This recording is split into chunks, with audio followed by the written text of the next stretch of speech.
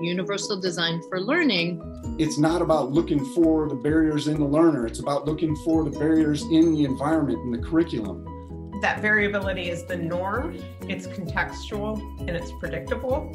How students are expressing themselves. You know, figuring out how do we make spaces for voices.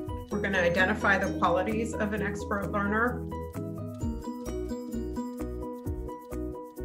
But what we are trying to do is make make a new virtual space, right? A new ecosystem in a digital in a digital land that is UDL. We have a number of different topics you can you can learn, and you can kind of create your own pathway through it. You know, because all of the sessions are recorded, you can really uh, determine what works for you.